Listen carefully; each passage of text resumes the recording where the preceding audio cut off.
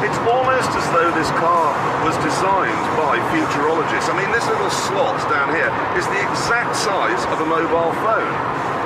Tomorrow's world never even saw the mobile phone coming, and yet Rover did. And here, look, the door mirrors are operated by this switch, okay? Now, the people who put that switch there knew it would break, so they put manual controls in as well.